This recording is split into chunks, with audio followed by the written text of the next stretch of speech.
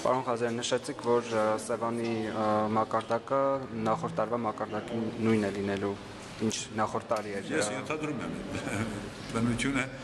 ցույց կտա այդ ամենը։ Իսկ ինչպես կարող է նույնը մնալ, եթե 150 հազար խորանարդ մետր ջուր է այս տարի հանվել։ Հա, բայց նաև գետերից մուտքեր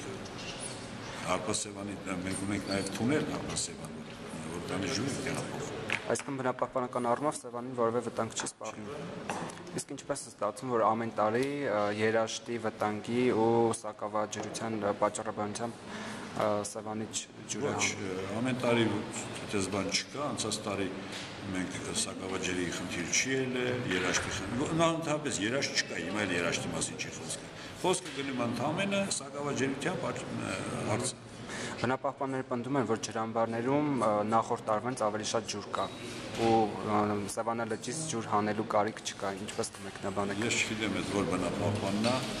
կարող եմ ես իրան մեքենայով բենզինով ապահովել, թողնի գնա ապարանի ջրամբարը տեսնի, ոչ մանի հետ իր ասածներից